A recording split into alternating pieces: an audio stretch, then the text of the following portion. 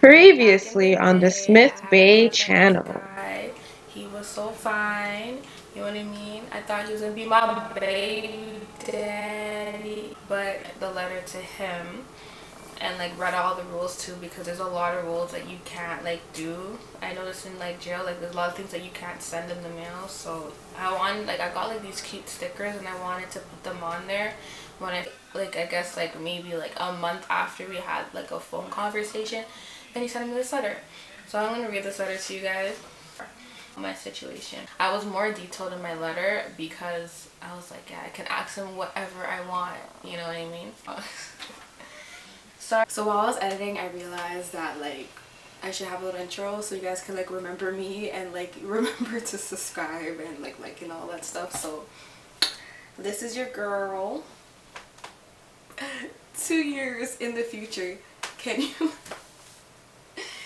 can you believe it took me two years to give you guys a part two to this video? That's crazy. Like I still can't believe procrastination is real guys. It is real. But anyways hey guys. My name is smith bay. Welcome to my channel. If you know me you know me. If you don't know me hello. Nice to meet you. How are you? Please don't forget to like this video and sub. And yeah depending on how this video goes it might be a part three but i promise it will not take three years I still can't believe it took me this long to make a part two to this video. Like, it's actually crazy to be like, yo, procrastination is real. It's real. It is real. but anyways, back to the video. Okay. Uh, plus, we haven't talked since high school. I'm happy to hear that you're doing well and that you're that you graduated and have been getting yourself situated. I was surprised to hear you're acting now. I didn't even know you were into that. I'm so happy to hear you're doing something you enjoy. You're probably really good at what you do and I can't wait to see some material. Yeah, because I told him I was like in acting now. I'm doing all that stuff, you know? And yeah, you know, just giving an update. So like, I didn't want to be like, oh, my life is boring, my life sucks, and yeah. Man, uh, damn. I told him whatever I can tell him, you know, cause like, yeah, yeah, yeah. but where was I? Sorry to hear that your relationship wasn't great, but you already know you learned a lot about yourself in those situations. I know I have, so don't sweat that BS. If it if it wasn't meant to be, it's I, cause there's always someone better around the corner. Yeah, because I was just talking about my relationship too. I don't know why. Like, I just said like some random crap. Like, not crap because that was my life. But like, I just felt like, bro, like, am I pouring way too much into this? Like, stop it. But like, see how he was like, oh, like there was someone better around the corner because obviously man wants to be with me. But like, anyways. This is yeah it, it just cheeses me because mm, definitely a video for the next time because bruh. Anyways where was i? Lol i was fucking up all these clubs out there too. A lot of long nights and early mornings. Madam would be wiling trust me. Family is important too and keep them them close as long as they're not acting critically. So yeah, I was talking about like, you know, the club life, like uh, out how my out well, how how I was out here. Not like post COVID, you know, but you know, going to clubs and stuff and like talked about family too because I was really close to my family so I want to know if he was close with his family because I know one time like back in the day like because I tell my mom everything so I told him I told him I told her about him when we were in high school. My mom, I love this guy. Like, he's so fine. Like blah, blah blah. Showing her pictures and everything. And then one time she asked me to go like to Food Basics, like the grocery store down here in Canada. And I was just like, no, I don't want to go.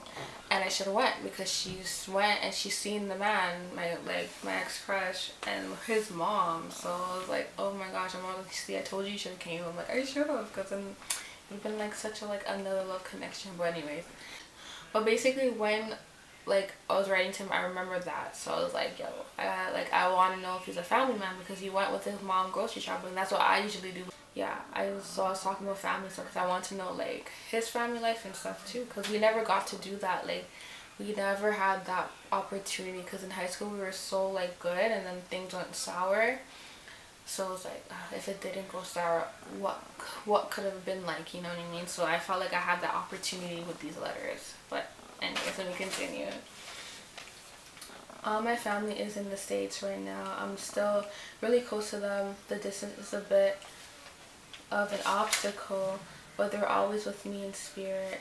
I have I have a one two day ones with me in Canada, but my main support is my family in the States. I don't have anything I don't have any youths, but in the future I want a nice little family. One, two kids, boy or girl. Doesn't really matter. I'ma love them some ways to my best abil ability ability, ability. Gosh, I can't even. But yeah, so I was asking like his family support, which I found really sad because like he had like literally um no one up here but like two friends, and then I guess me at the time because like you know what I mean. So that's why I wanted to even contact even even more to just know that he had like no proper support up here. So that's was something I wanted to do too. But the man ruined it anyways and then i asked him about like family and stuff. I wanted to see like you know are you a family man? Like do you want family? Like you know like so like he like so he's like yeah like of course i want like i want kids. So that was good to know i want to be in their life as much as possible growing up without that family structure is, structure is tough but enough of all this. I want to know what you're chefing up in the kitchen. I'm a super foodie. Let me find out you're cooking up some KD and shit. LOL. It better be some real meals like some steak and potatoes, ackee and sausage, jerk chicken, the real, real. Maybe there will be a time when I could chef a meal for you. I'm quite the chef myself.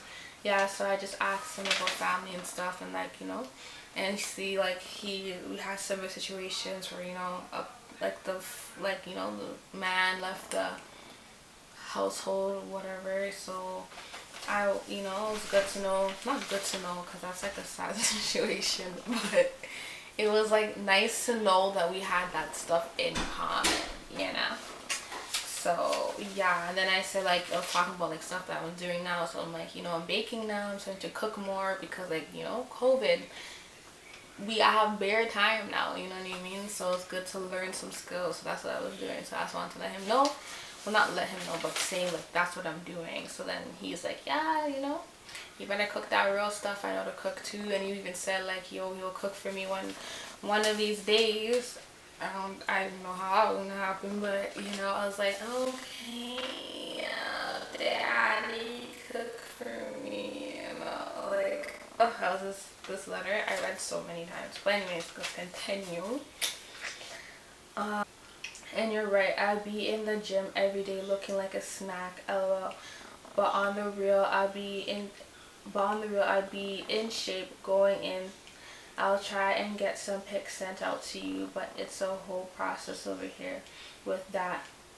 But enough about me. Yeah, so I was like, you know, mm, you must be like a whole different man now because like when we were, we were 14 we were kids you know so I was like bro and back then he was sweet ooh so I was like imagine how he looks now you know what I mean so I wanted to see like how he looks now. Like I wanted like an update. I wanted like yo you must be in the gym all day because even when we were on the phone before he was like what's it called?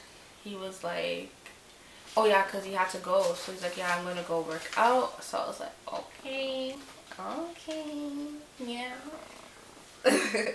So yeah i was just like so excited.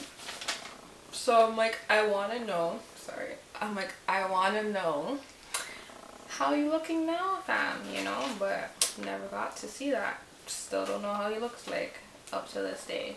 Like the update, I guess. But yeah, and then I sent him pictures out too because I was like, bro, like you need to see how I look now because like girls looking like good now uh, and these days like we looking we're glowing glowing up little by little like but anyways so he's like but enough said about me. Looking like a snack yourself. I see you all glowed up looking hella good. Better be sending me more you better be sending me more pics with your next letter. Maybe a full 360 but i'll leave that up to you. And Smith Bay, because I'm not going to expose my real name. Don't overthink these letters. If you want to write five pages, I'll hit you back with the same. You already know nothing but love. Write me back and about write me back about anything. Stay optimistic. Send pics of anything. And Happy New Year's. Yeah, so I sent this letter basically on New Year's. I feel like I'm missing more of a letter. I guess not yeah but basically i sent that letter yeah by around happy new year's. So like end of december so i'm like by the time he gets it it's gonna be like the new year. That's when i sent it but yeah i was just like so like like i said before like about the pages i was so in in in i was so insecure because i was like bro like i'm writing so much like this is too much. Like i took these like these letters writing to him was like like as a like what's it called a diary like I took it as like a whole diary like and it's so therapeutic to do it like I'm telling you guys it's really good.